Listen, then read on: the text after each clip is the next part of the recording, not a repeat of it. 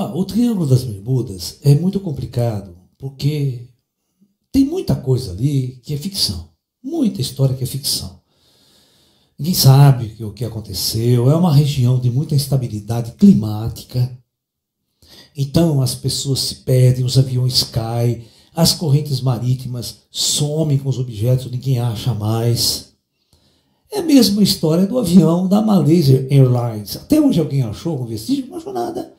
Quando um avião cai no mar, cai no oceano e desaparece totalmente. A mesma coisa aconteceu em muitos casos do Triângulo das Bermudas. As regiões são de grande profundidade no, no oceano, ali tem quilômetros de profundidade.